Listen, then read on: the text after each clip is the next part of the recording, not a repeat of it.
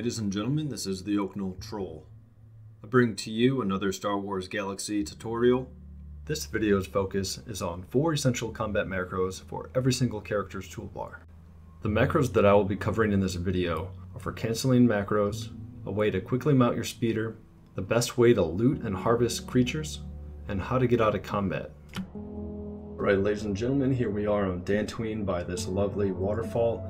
First thing that we're going to do as we show you these commands is bring up the command browser, Control A. We're going to look at dump macros. So what this macro is actually designed to do is it's going to dump any type of active macro that you have going. It's going to clear any type of current combat that you have going on right now.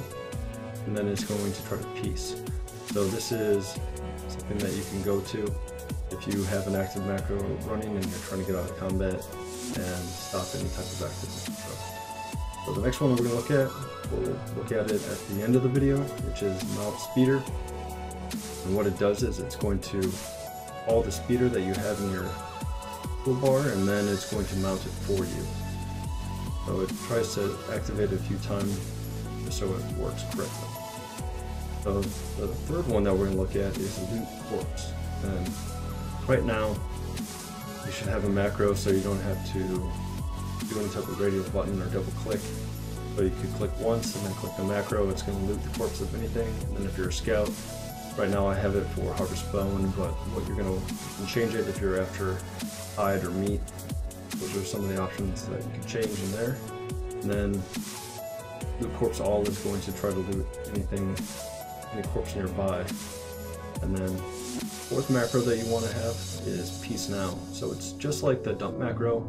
However, the peace now, if you're running a macro and you don't want to dump the macro, but say you want to clear combat queue so you could add in an intimidate or dizzy knockdown, that's the one that you want to do. So your macro will keep on running.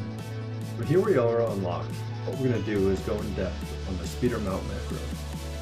So hold our command to look at it. What it's going to do is it's going to activate UI action toolbar slot number 22, which is where I put speeder bike that I generated from my data pad. So first I'm going to click it, it's going to generate the vehicle, then a split second later it's going to mount it.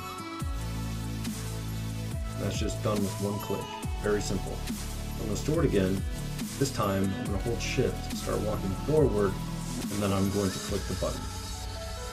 It will generate the vehicle and mount it as I am currently walking, which will give me a head start moving to my next destination. I hope that you enjoyed the video. Thank you for watching.